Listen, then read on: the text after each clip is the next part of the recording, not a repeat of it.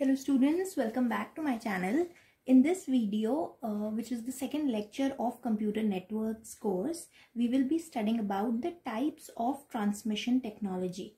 So when I say transmission, transmission basically refers to what kind of communication is happening. So in the previous video, we understood that uh, a network is a collection of communicating or digital devices that are interconnected so that they can exchange information via some form of transmission media. That transmission can either be wired or wireless. Now, the type of transmission technology is also uh, can also be categorized on the basis of how many receivers are receiving the message that is sent by the sender. So in any kind of communication, you will always have a sender that will send a message to the receiver and you will always have a message that is being sent via some communication or transmission media. Okay. So we will study about different kinds of transmission media in detail Later, transmission media are also known as transmission links. But today what we are studying is that when a sender is sending some message to uh, how many receivers that message is being sent and by how many receivers that message is being received, that also defines a classification and that is known as the classification of computer networks or computer transmission links on the basis of transmission technology. Now the first classification is broadcasting or broadcast links. Now broadcasting means sending a single message to everyone. So there will always be one sender but in case of broadcasting all other devices that are present on the network will receive the message that is sent by the sender.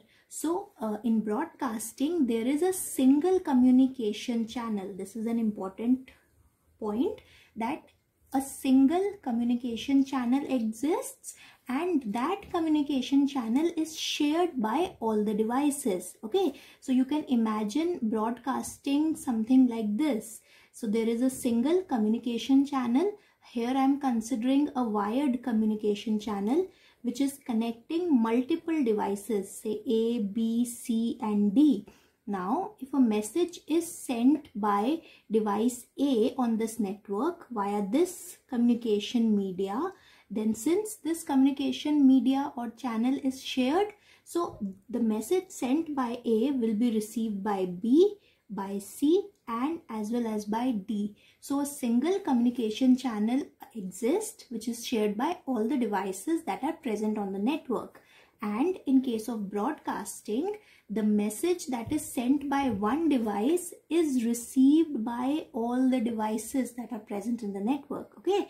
So whenever a sender sends a message to a receiver, generally the message has a part which tells to which machine or to which device this particular message is intended and that uh, address is present in the address field of the message okay? So the address of the receiver or the destination is specified in the destination address field.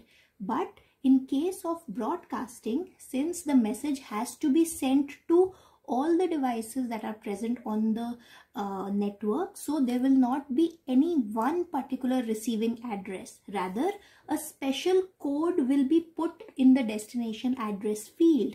And every time uh, a machine on the network or a device on the network receives that particular message it will see that in the address field in the destination address field the special code which indicates that this is a broadcast message will uh, will is present and therefore the machine every machine except the sender which is present on the network will accept this broadcast message okay generally what happens is whenever a message is sent from the sender to the receiver, some intermediary nodes might be present in between which may receive the message that was sent by the sender.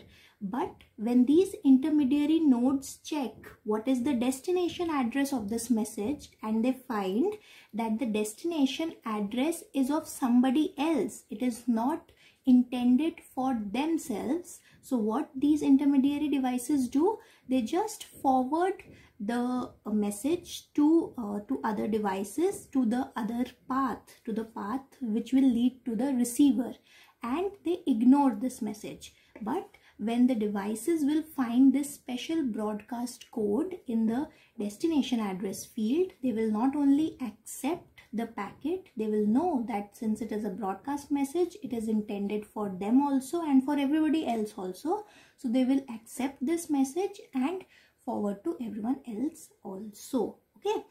Now a subcategory of broadcasting is multicasting where the sender sends a message to some of the devices that are present in the network. So a subset of the devices connected to the network receive the message. So if uh, if the network consists of four devices, then uh, the sender sends the message to two devices rather than all the remaining three devices. Then it is known as multicasting. Okay, multiple devices are receiving, but not all of them are receiving. All right. The third is, and the opposite of uh, broadcasting is point-to-point -point transmission. So you can imagine point-to-point -point transmission as be direct individual links being present between multiple devices that are present in a network. So here in case of point-to-point -point transmission, there is not a single shared channel. Rather, multiple uh, uh, multiple links exist in the network and one link is uh, present between each pair of devices. So point to point links uh, connect pair of machines. So every two machines that means every pair of machines will be connected by one link one communication channel and that is known as a point to point link and multiple such point-to-point -point or P2P links exist between different pairs of machine.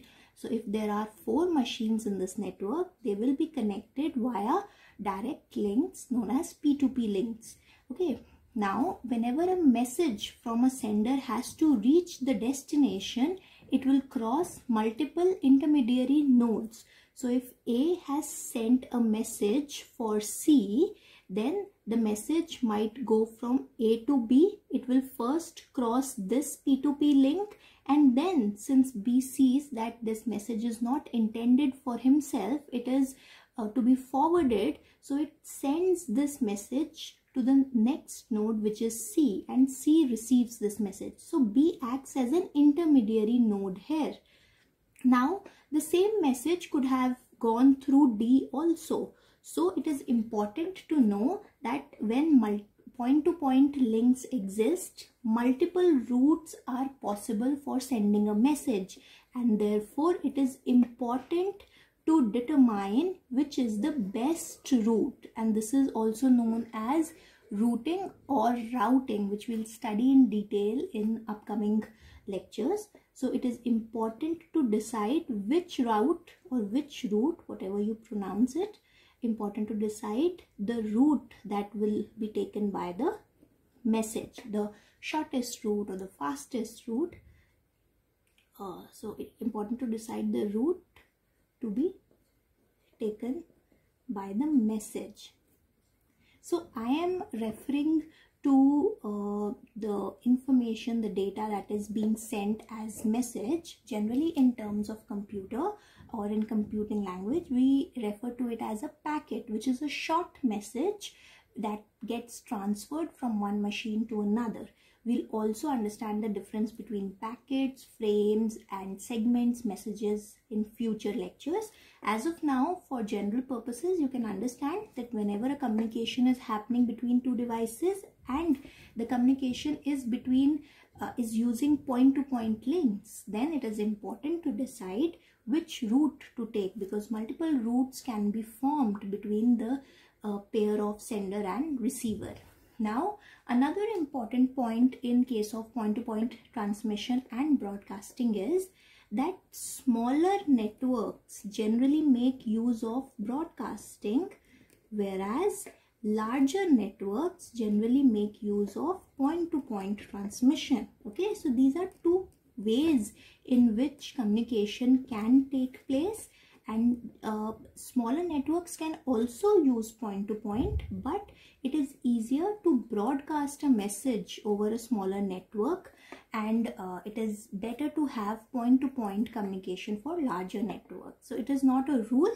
but this is a general convention. Now one thing that you must remember is that point to point communication has um, a particular okay so unicasting is a type of point-to-point -point communication that happens between one sender and one receiver. Okay so unicasting is a type of point-to-point -point communication that takes place between one sender and one receiver okay so this was all for today's lecture we studied about different types of transmission technologies. The two main categories are broadcasting and point-to-point -point communication or transmission and broadcasting when done for a subset of devices and not all the devices is referred to as multicasting whereas when point-to-point -point communication takes place between one sender and one receiver it is referred to as multicasting.